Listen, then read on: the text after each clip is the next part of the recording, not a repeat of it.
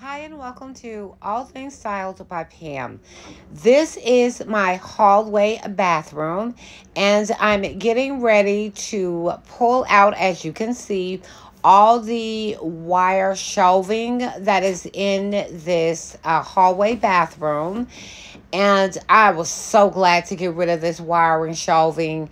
And it was a lot to take out and that is because I did not know that there were um, the wire shelving had wall anchors in the wall, and this is everything that I took out of the closet. And as you can see, it is a big mess everywhere. So stay tuned so that way we can go ahead and get into how I changed my closet. Okay, what you're looking at right here is all of the wall anchors that I pulled out of the wall in the hallway closet. And I had to fill 36 holes in my wall. Okay, what you're looking at is the wall that I pulled all of the wall anchors out. And it was a lot of wall anchors in that wall.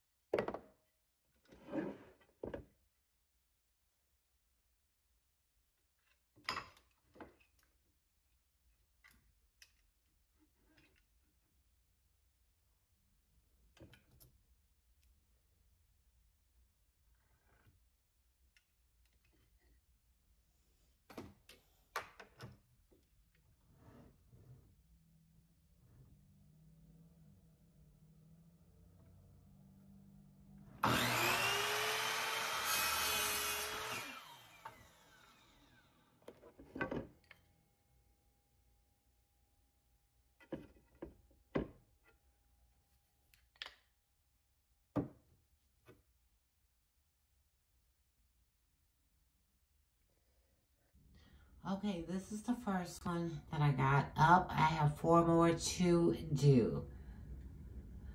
Okay, let me show you one of the things that I'm doing.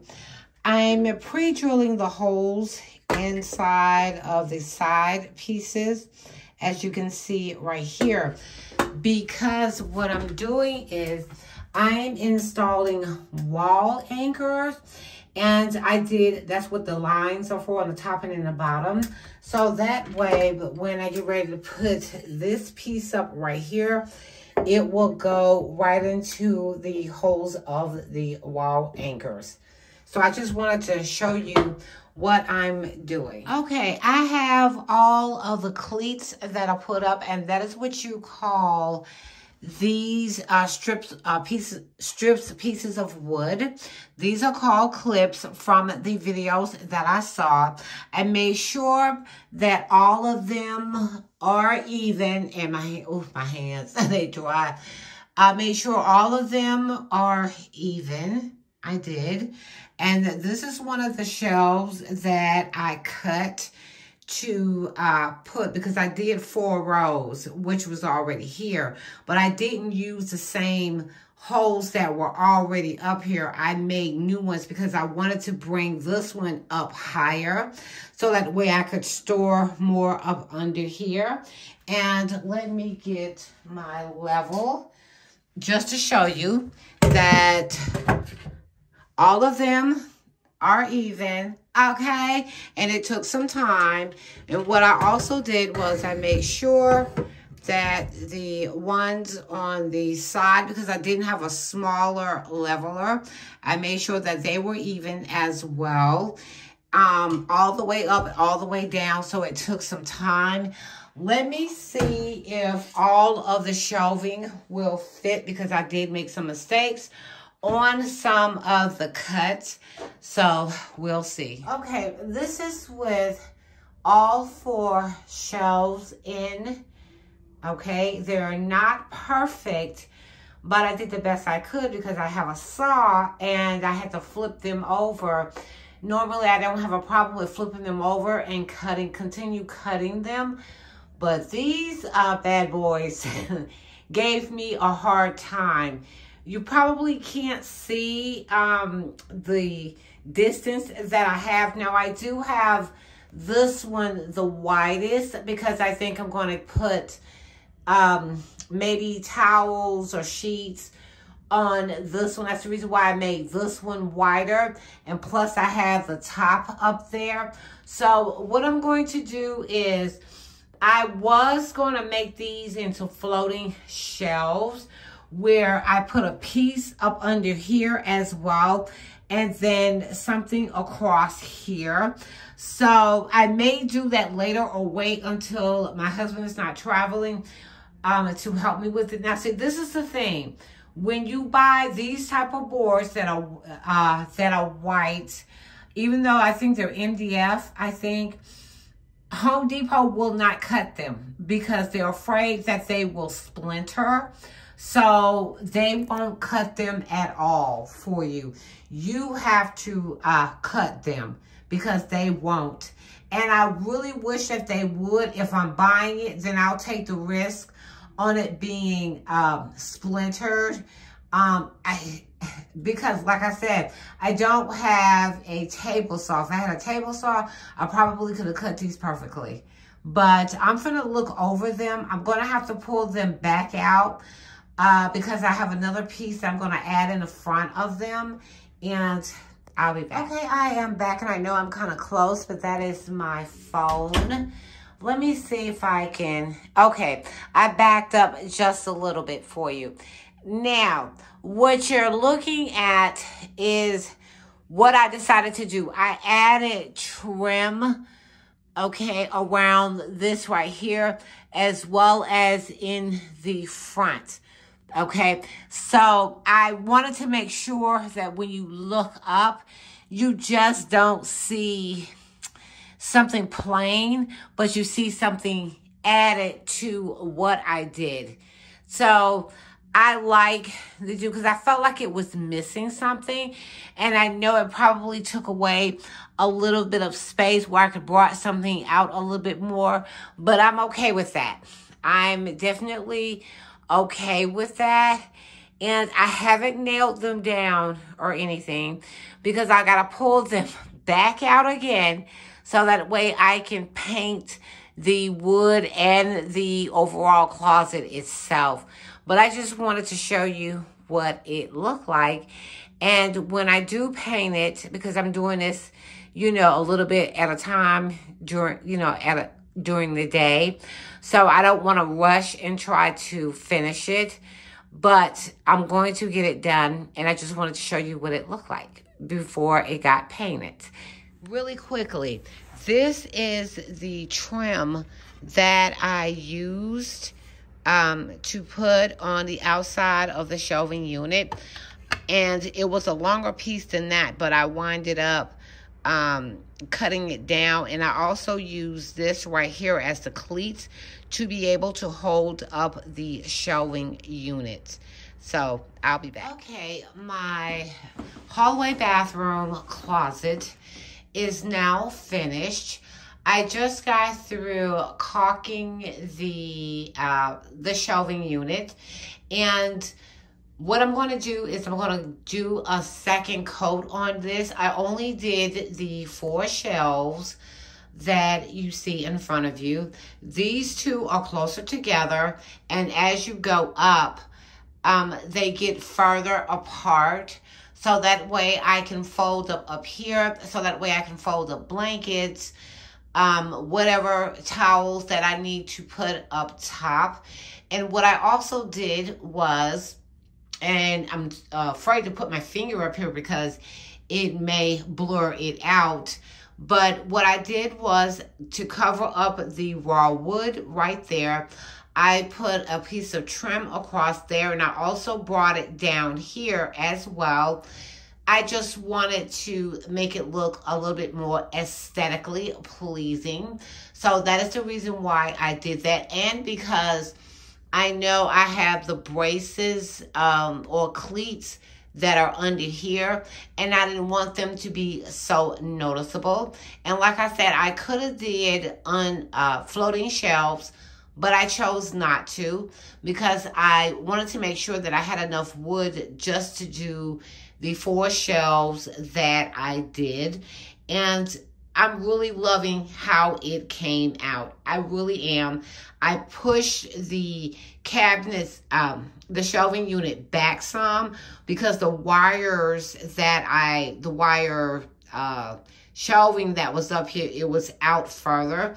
I want to be able to stick a my vacuum cleaner or my uh, uh, Swiffer jet inside of here. So that's the reason why I pushed the shelf, the shelving unit back. And let me tell you, I am really proud of myself. And I took something from YouTube, a video, videos that I saw, and I just made it my own. You can do whatever you choose to do, but I wanted to uh, no, beef it up just a little bit. And that's the reason why I added the second piece right here on all of the shelving units. And this is what I got to put back up on the shelving. I'm going to give it a little while and let it cure just a little bit. I also uh, recaulked my baseboard down here as well. And I repainted the trimming on the outside of the door.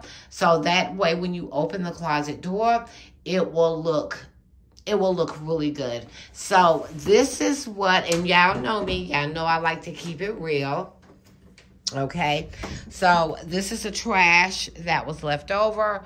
This is everything that I need to put back up and I know it's kind of dark, but these are the wiring shelving that were up there that I took down.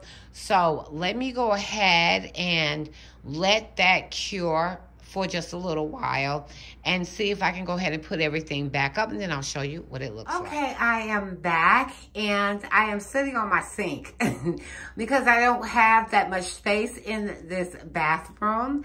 So this is everything that I put back up here, okay?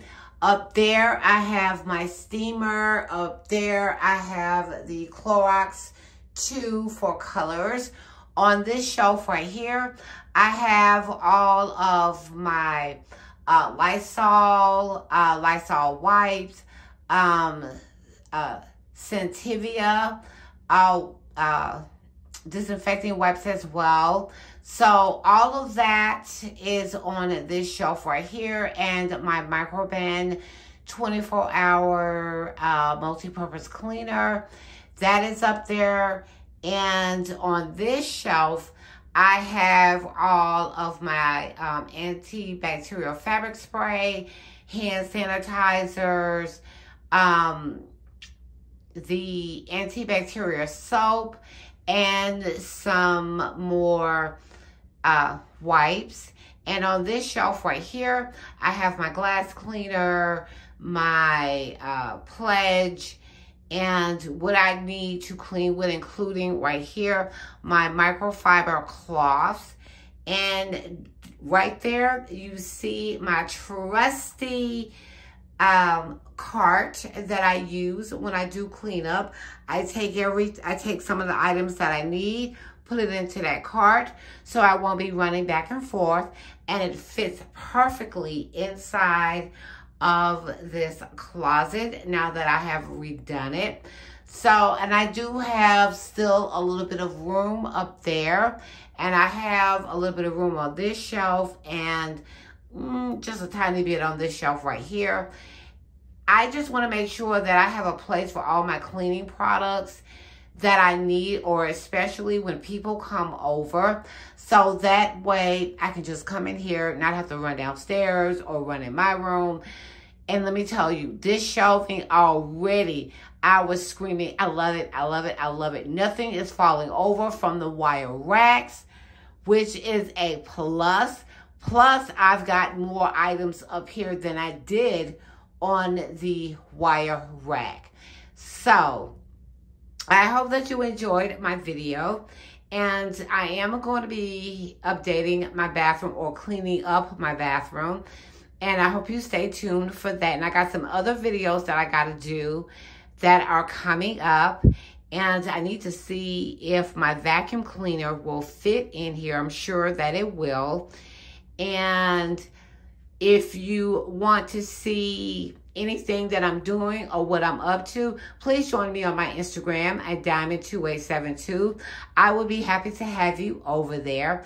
And yes, I do keep a ladder in my bathroom because I've been needing it so much and I need to pick up the baskets on the floor. So thank you for watching All Things Styled by Pam. And I hope that this gives you some ideas to do in your bathroom. And always remember to put that diamond touch on anything that you decide to do. And I will see you guys in another video. Bye.